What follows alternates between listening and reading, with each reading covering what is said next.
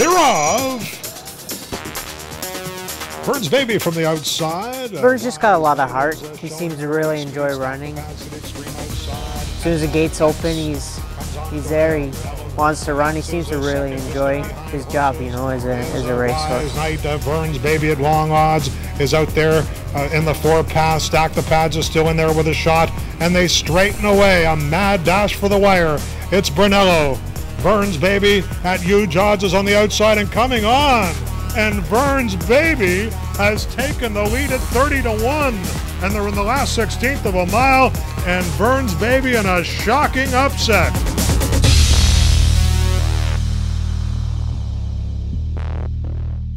This particular horse, over its career previous to my owning him, I treated him on several occasions and he'd always done well. I think he had won two or three stakes races over the previous three years.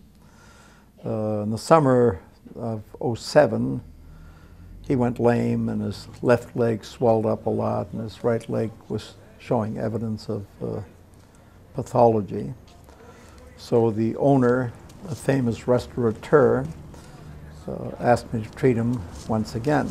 And I started treatment and after two weeks or so, I was in his restaurant one night and he asked me how much he owed for the treatment. And I told him I didn't know at that time, but he could call the office.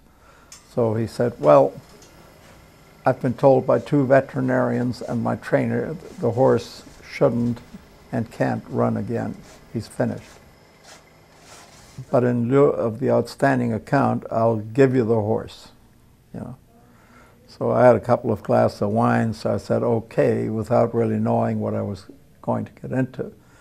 But I welcomed the challenge because uh, I know what laser therapy can do, and I was 100% convinced in my own mind that I could uh, rehabilitate this horse and return him to the track.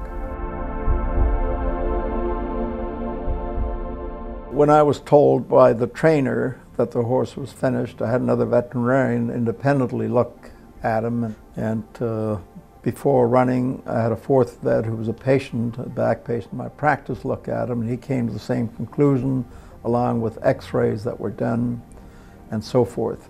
So he had every benefit of veterinary medicine, and uh, the conclusion was the horse neither should nor could ever run competitively again. And I didn't agree with that. So in my mind, it was a matter of finding a trainer who would agree with me and uh, give it a shot, so to speak. When me and Dr. Khan, we went to see the horse, we took him over there. We both agree on it, try to swim the horse at first, go from there. But before we start swimming the horse, we want to take x-rays of his knees, just to see what we're dealing with. I had an empty stall. I said to the doc, bring the horse to the track. And that's when I start training the horse. Laser therapy has been used to treat racehorses for a long time. But the equipment or the systems that are around aren't really adequate to do that. Our device that we've developed, which is applied to both humans and animals, particularly racehorses, uh, I felt in this instance would be a curative approach. Nobody believed in the horse except the doc.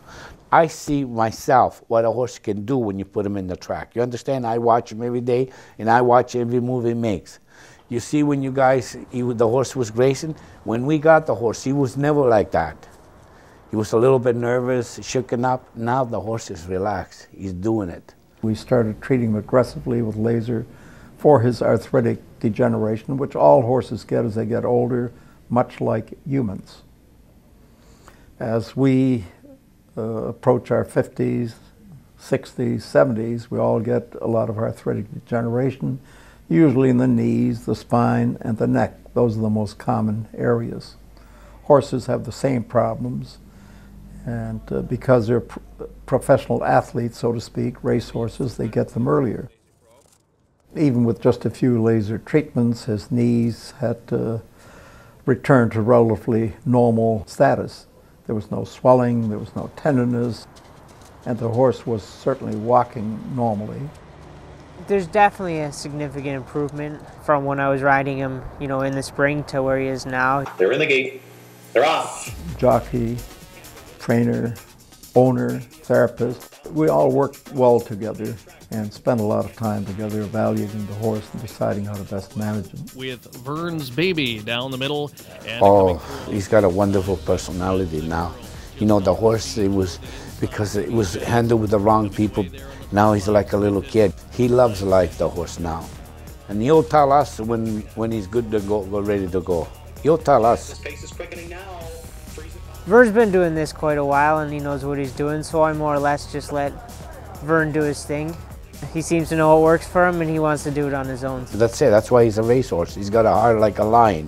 You ride hundreds of horses every year, but Verne's definitely one that stands out. Up into the final 16th. Verne's Baby's taking a run at FriezaCon. FriezaCon's still there, but Verne's Baby's got him.